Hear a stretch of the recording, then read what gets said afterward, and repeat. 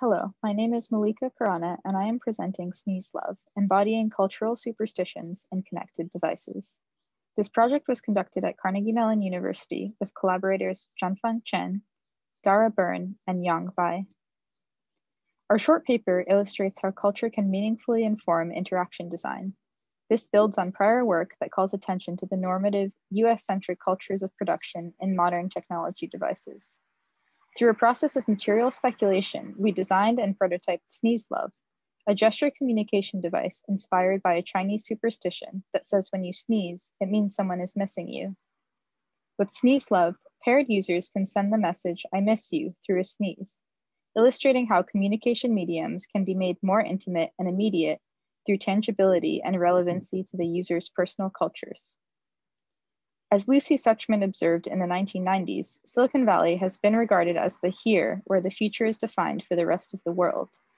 Device designs and interaction paradigms are US centric, though devices may be used globally. This can be seen as a colonizing move that is harmful to the identity and representation of non centric perspectives.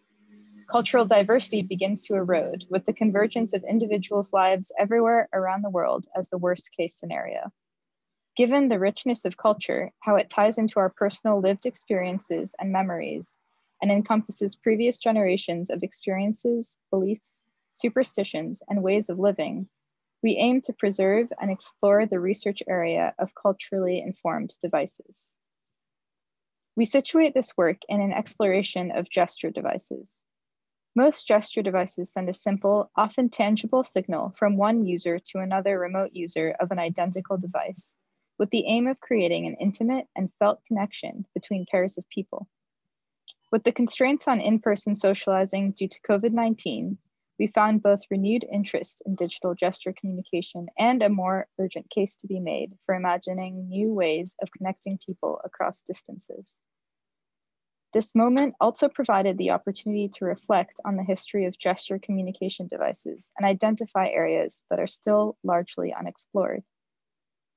Another strategy we have observed in gesture communication and IoT devices has been to engage users in the design and creation of these devices. Alternative avenues for IoT demonstrates how taking users' desires, unique environments, and identities as a starting point for designing IoT devices can open up new considerations of the values and beliefs embodied in our devices and create more meaningful relationships between humans and technology. We also took inspiration from projects that find humor and a sense of wonder in the mundane. Work from Dominic Wilcox and Montana Feiger specifically used bodily functions as a source of humor and playfulness. With our design, we aim to create a communication medium that would make people smile and would feel more special than just sending an SMS. We began from the topic of communicating through shared, ordinary, but intimate moments.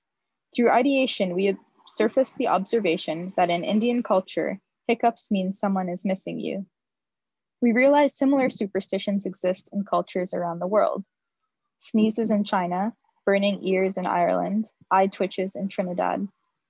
We speculated how embodying the message of I miss you through a digital gesture inspired by one of these superstitions could create a playfully engaging and culturally meaningful interaction.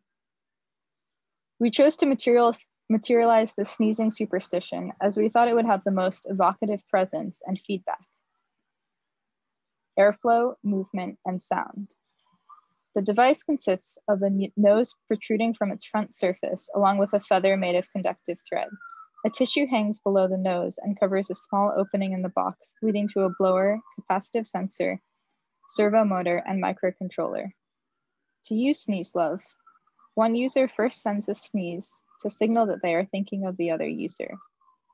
Using a conductive feather, they tickle under their device's nose. A signal is sent via cloud framework and received by another device. This triggers an electromechanical and germ-free sneeze through a gust of air and a sneeze-like sound.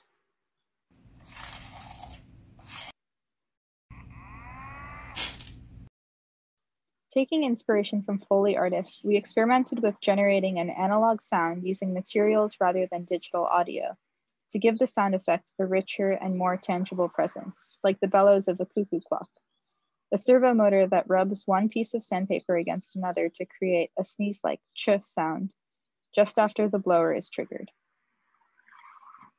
Drawing on our lived experiences and personal memories of culture with Sneeze Love allowed us to reflect on the empowerment that comes from creating devices that tap into personal meaning.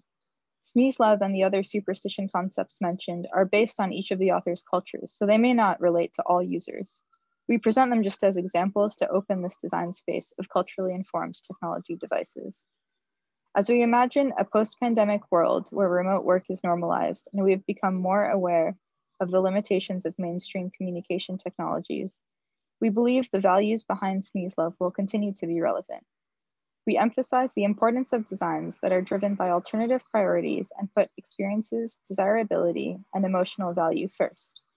We hope that this exploration further opens up superstitions as a rich proposition for culturally informed communications and for continued exploration through design research.